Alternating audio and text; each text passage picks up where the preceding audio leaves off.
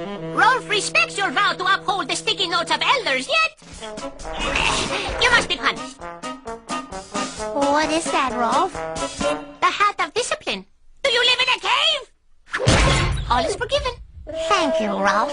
Oh, look! We found another note!